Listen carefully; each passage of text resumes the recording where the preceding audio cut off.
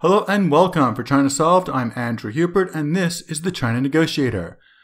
Episode 27, I want to say. Dueling Narratives.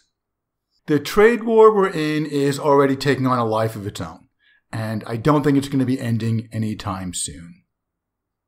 The US view, the, the view that US decision makers have is that it's all about economics and it will be over soon. China cannot resist US economic power.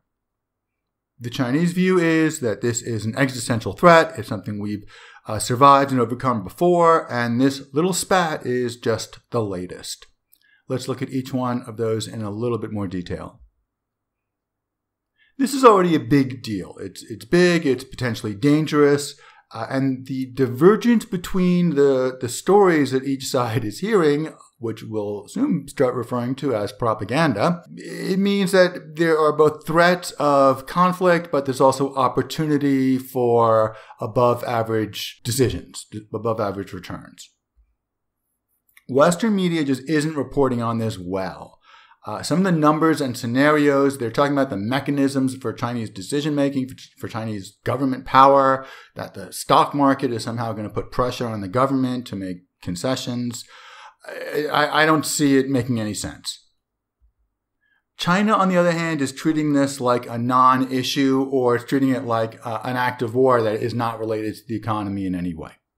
So, circling back to the uh, US view, U.S. decision makers are being told that, that, this will be over quickly and at almost no cost to the U.S. economy, especially to, to them.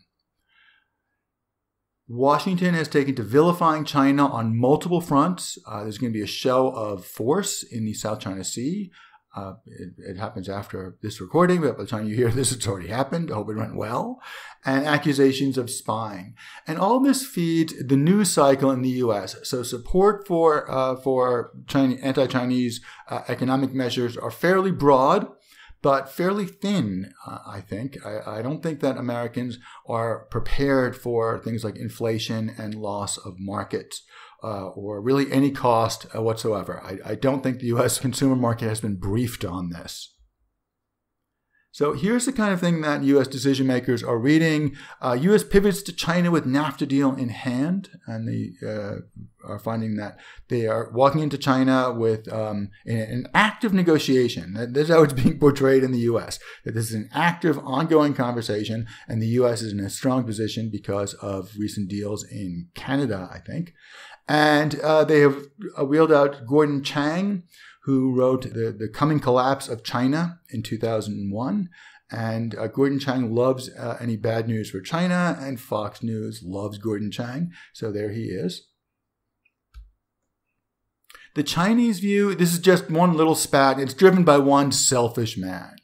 And China is standing up for sovereignty and dignity uh, for the Chinese people and global free trade for everyone and among Chinese decision makers, there doesn't seem to be any real sense of panic or need to compromise.